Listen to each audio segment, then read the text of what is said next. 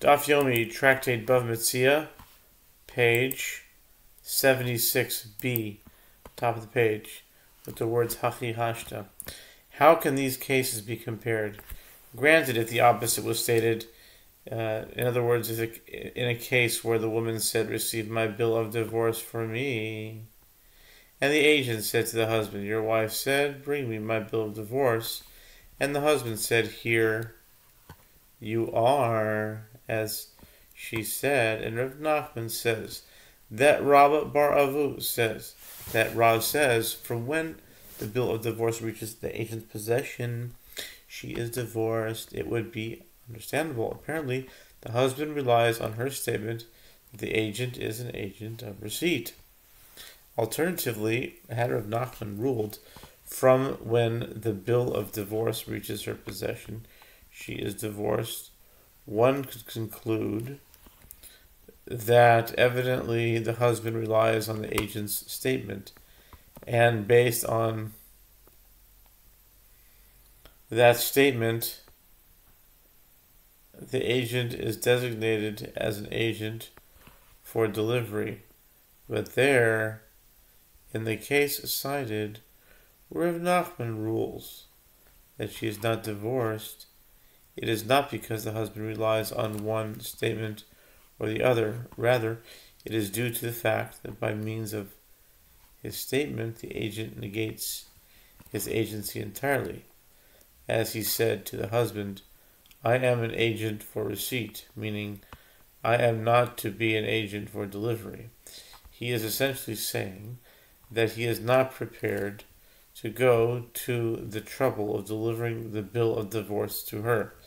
Therefore, even if he does ultimately deliver the bill of divorce to her, he is an agent neither for the woman nor for the husband. No conclusion can be drawn with regard to the question of which statement the husband relies upon.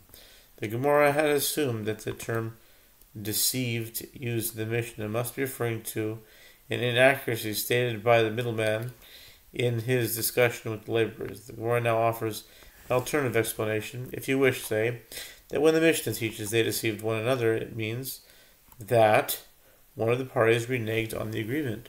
This is, as this Tana also calls a circumstance described by the term reneged, meaning that either the employer or the laborers reneged on their agreement by the term deceived, as it is taught in a Braita in a similar manner with regard to one who hires artisans or laborers, and they deceived the employer, or the employer deceived them, they have nothing but a grievance against one another, and no monetary claim. The Braita continues.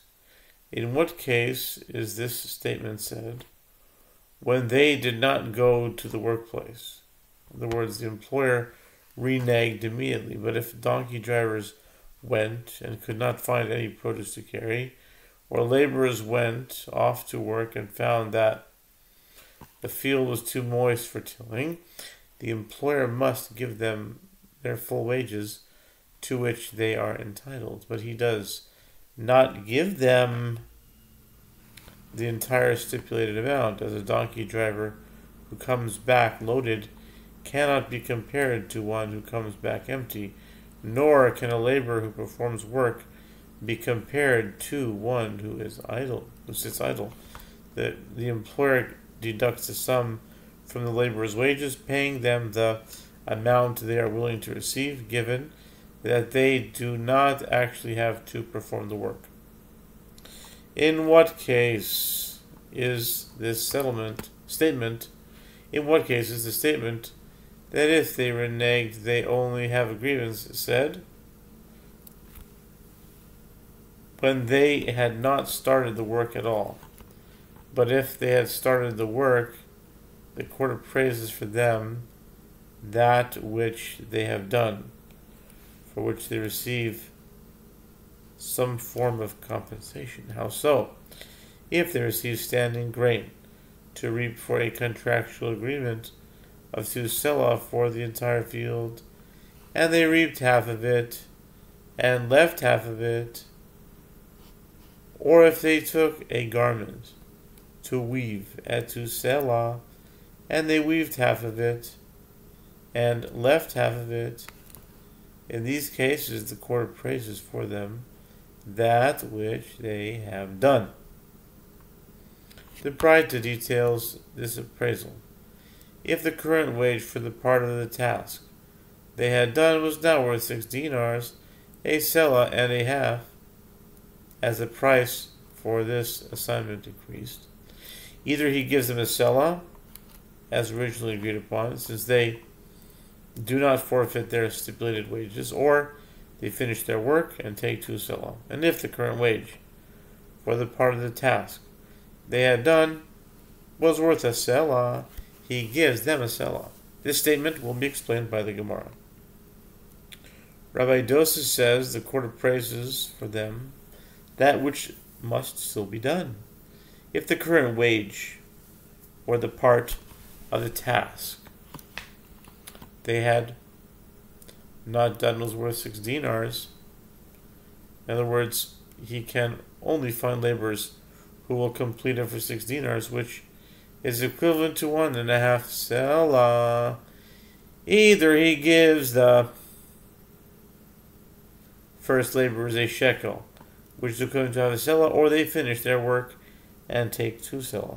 And if the current wage for the part of the task they had not done was worth a selah, he gives them a selah.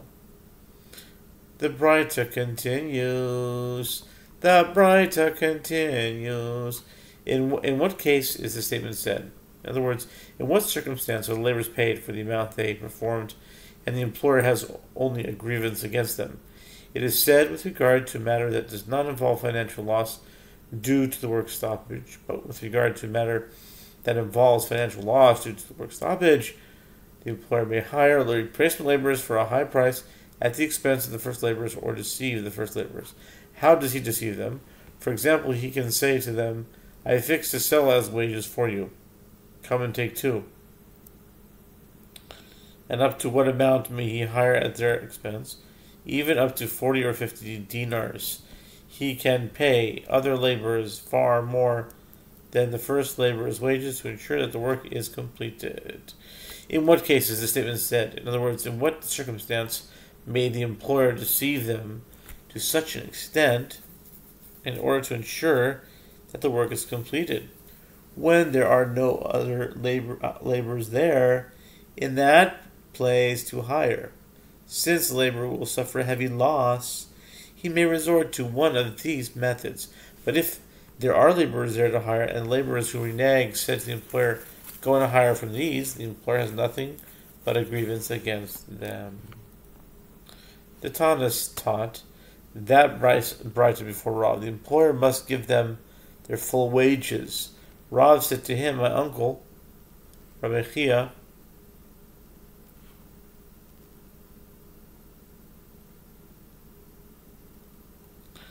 Chavivi Amar, my uncle Rabbi Chiya said, if I were ruling in this case, I would give them only the wages of an idle laborer, but no more.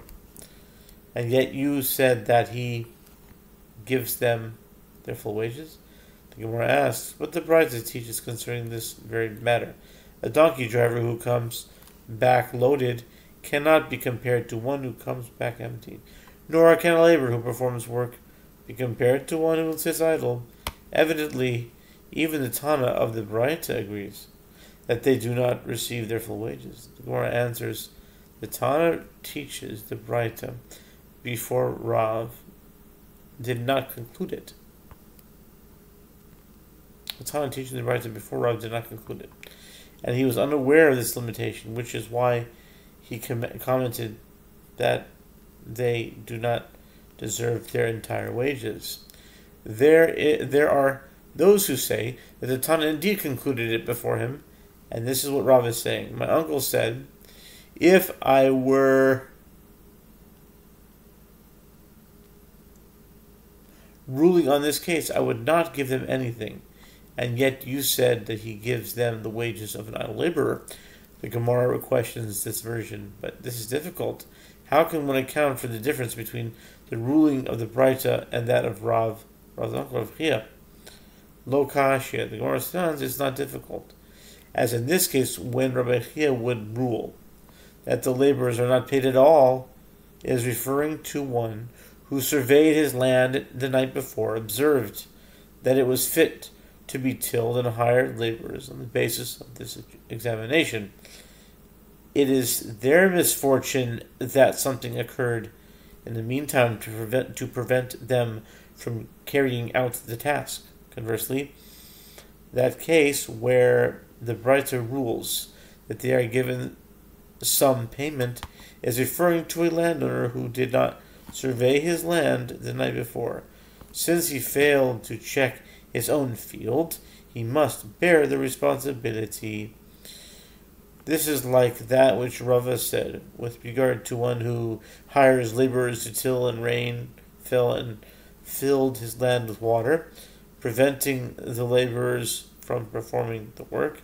If he surv- surveyed his land the night before and did all he could,